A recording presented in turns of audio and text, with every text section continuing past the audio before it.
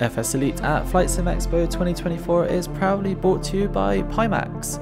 Check out their Pimax Crystal Light right now for some of the best VR headsets available today.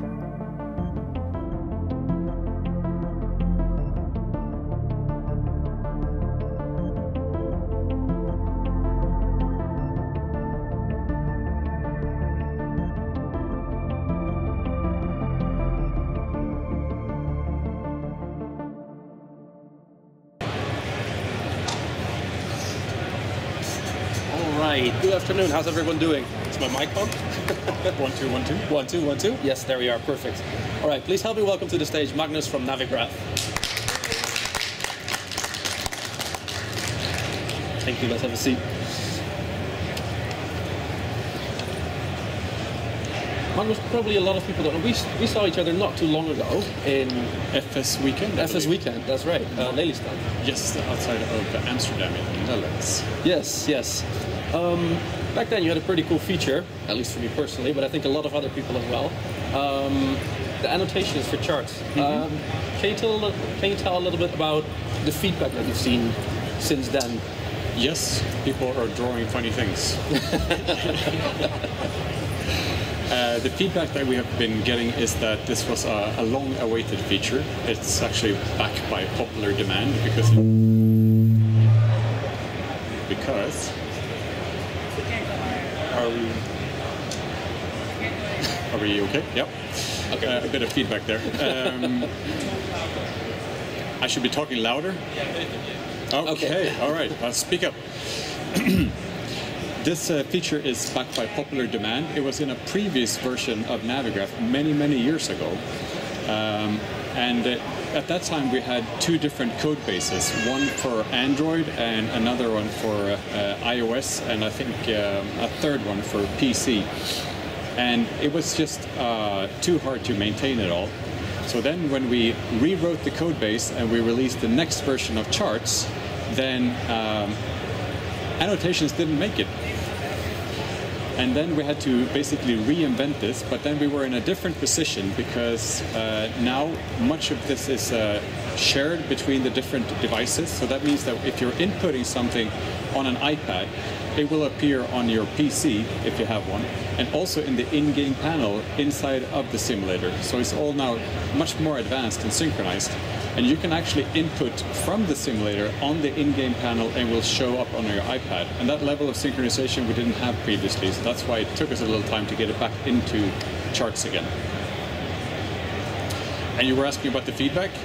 Well, um, people tend to prefer to use the stylus because it's a more natural way of interacting. You can use your thumb or your finger to maybe outline the taxi clearance that you have gotten.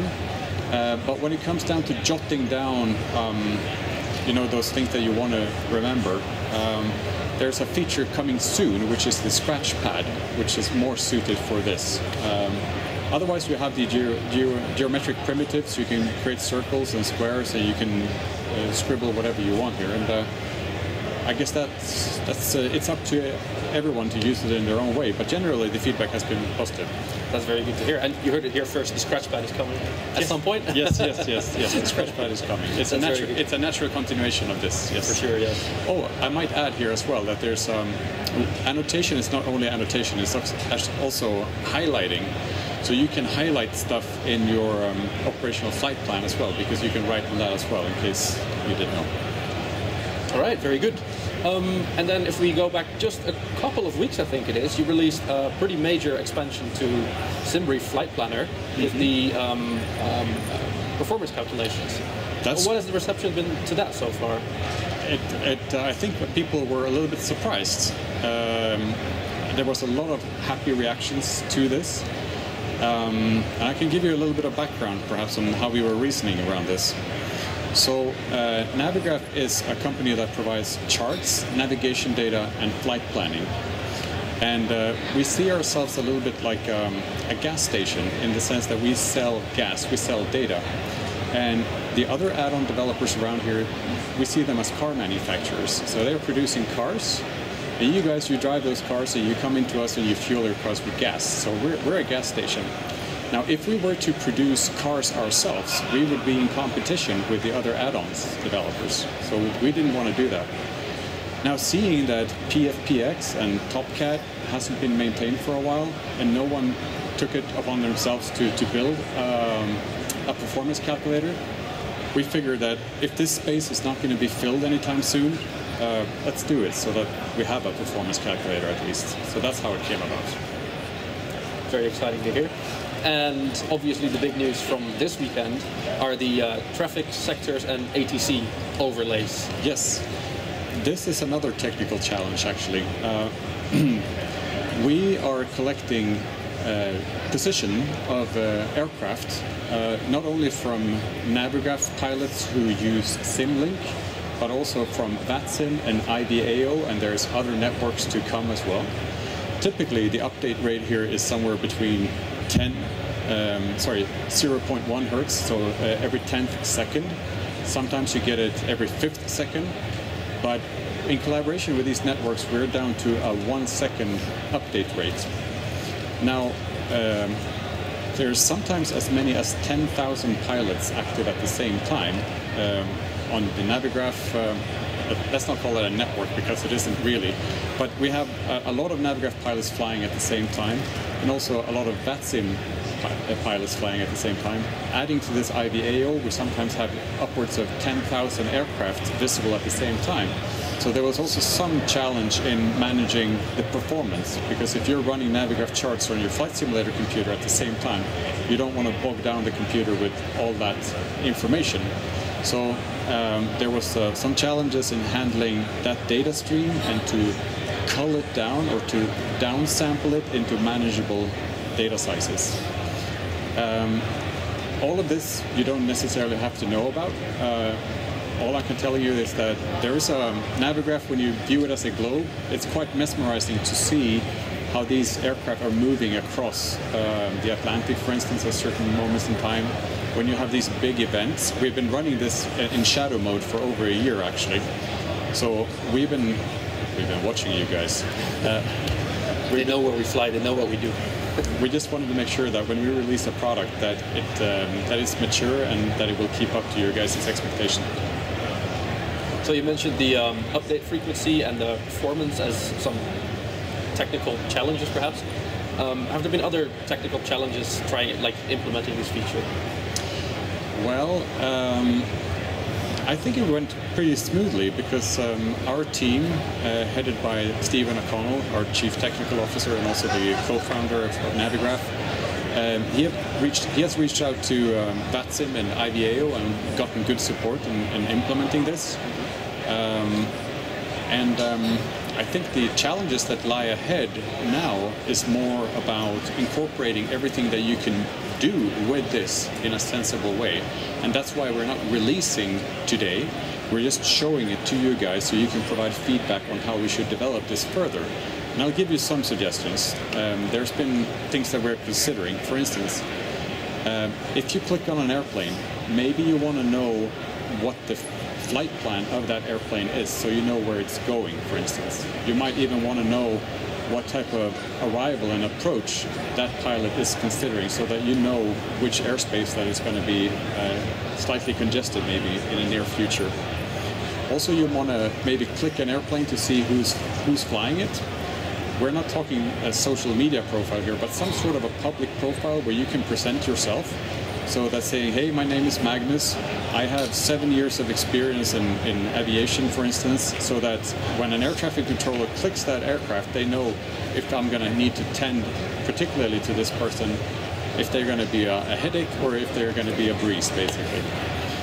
Uh, other things that we've been considering is to promote um, friendliness in the community, uh, a good tone, and that everyone is being nice. Uh, maybe we could consider some sort of like an Uber rating. So this controller, he was nice to me, and this pilot, he behaved nicely and seemed to know what he was doing. So maybe a little bit of scorekeeping here to make sure that um, we're all being our best selves on, on, the, on those networks. FS Elite at Flight Sim Expo 2024 is proudly brought to you by Simbit Worlds A Pilot's Life Chapter 2. Check it out now on SimMarket and also on Contrail.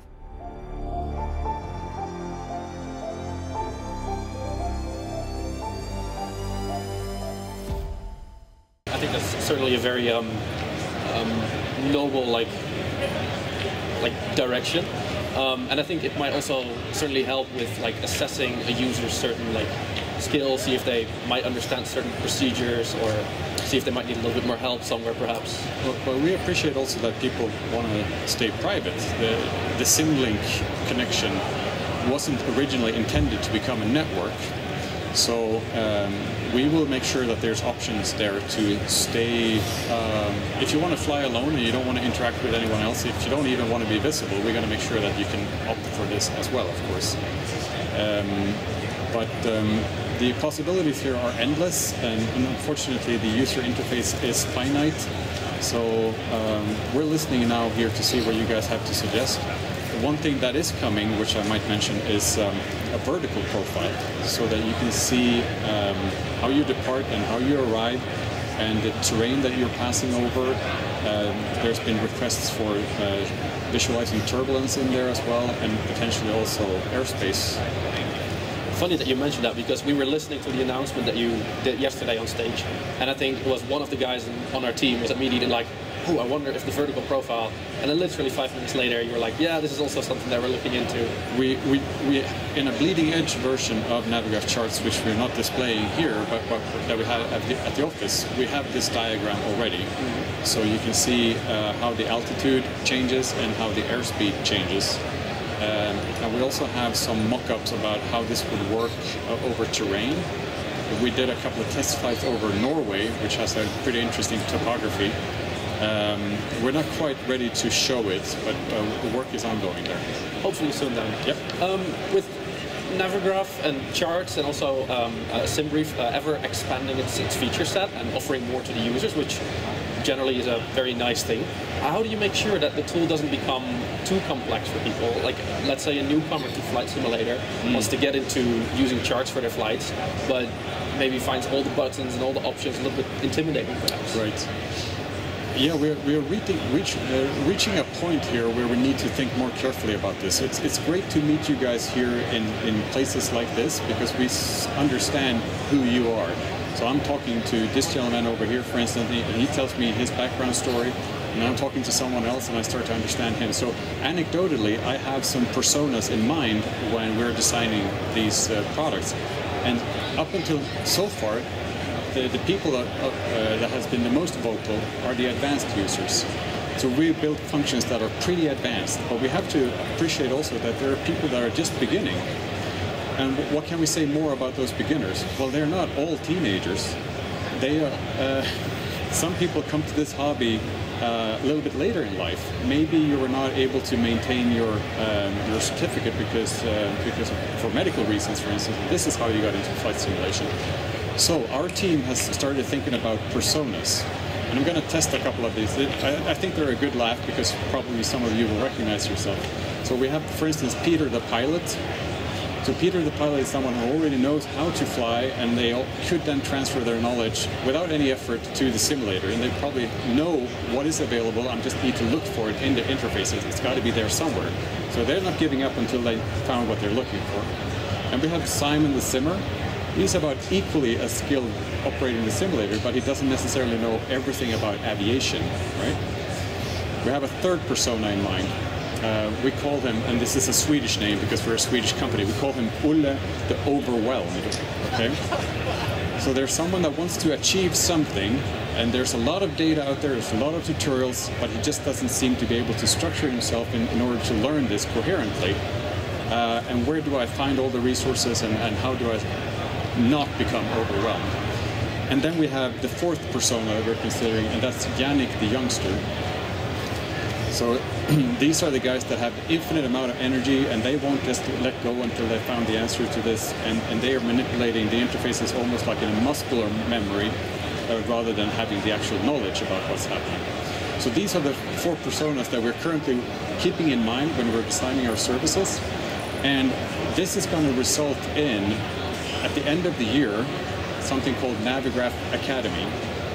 So Navigraph Academy is a way for you to learn not only how to operate the simulator, but also how to fly an aircraft. So we are going to model um, the curriculum of a PPL and do that alongside with how to use our products at every stage in this curriculum. Um, we have, for this purpose, um, two flight instructors, uh, one with a, a, European schooling and one with an American schooling. We have our content team that is preparing this, and the end result is going to be. Are you guys listening? I feel like I'm talking and talking. Yeah, by all means, I, I, think everyone's very captivated by what you're telling and these all right, personas. Just give me two seconds more, and I'll, I'll wrap this up. Um, this is going to be a production that's going to end up uh, available for free on YouTube. And you can watch this with a very low level of engagement. You can watch this almost as a TV series from the sofa. So you can put your feet up and you can just watch it.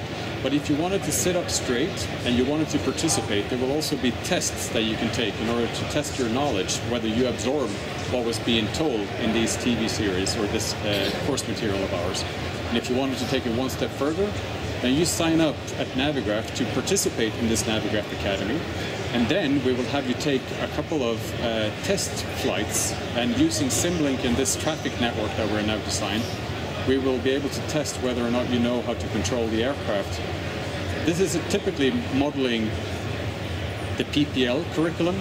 So at the end, we will reward you with a, um, a virtual PPL and that will then go on to your profile. So when someone clicks your airplane in this um, traffic interface of ours, they will see whether or not you completed this class and whether or not you know how to fly the simulator and whether or not you know how to operate your 172 process. There. Sounds very interesting. Um, so you already mentioned a little bit, like you work in a very community-driven way in that sense, uh, mm-hmm. inviting people to over at your booth, uh, also in the products you make, to give feedback, uh, help enhance the product. Maybe that's a nice segue into um, so Navigraph is a very community-driven uh, company. Absolutely, yes. So you guys take um, feedback from users and like I'm sure because you mentioned this on stage a couple of times with the, the, the overlays that you announced yesterday, but also I remember from FS Weekend with the uh, chart annotations. They were mm-hmm. very highly requested features. So how, how do you go about like you know people walking up to your booth or just walking up to you or whatever? Um, coming with ideas or leaving them on the website.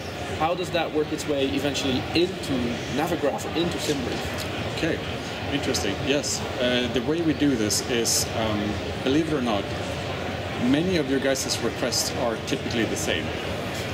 So we're, we're quite aware of many of these requests. That doesn't mean that you shouldn't give them to us. You should certainly, but at in the booth, um, out of 10 requests, uh, maybe one or two are um, somewhat unique, and then we put them into um, a Slack channel, or, or, we have a we have a chat software that we use to stay in touch in, in the company. And in that Slack channel, we have our CTO reading through what's coming up after uh, a session like this. So after a day like this, we made maybe a couple of hundred product demos and there's a couple of nuggets of gold that come out of those demos, and those we collect in, in, in the Slack channel. And then we take them home to our office and, and, and we discuss them. What happens then is uh, typically a prioritization. So we estimate how much effort would it go into develop this uh, feature, and how much of a user value would they be doing this. So the stuff in the upper left quadrant, the ones that are easy to do, that have high value, we will get cracking on right away. And then there are others that are a little bit not as low-hanging fruit, but we do see the value in producing it. And then, but there's a huge effort in doing that, and those are the projects that maybe take um, two or three years to complete. But um, your feedback is incredibly important, and even though I say that I'm aware of most of them, please keep giving it to us. Uh, if, if not here, then on our forum we have a wish list and on this wish list is a very powerful way to influence us as well, because the more people that are upvoting a certain feature, the more we know that this feature is in demand, and the more resources we will allocate to, to, to build that particular thing. All right, so make sure that you check out Navigraph's community involvement. I'm afraid that we're all out of time here, so unfortunately, um, I want to uh, thank you very much. Taksamuket, is that how you say it? Yes, thank you very much. Thank you. Um, and uh, we'll be right back with you with uh, Bluebird simulation, so stay tuned for that. Thank you. Thank you.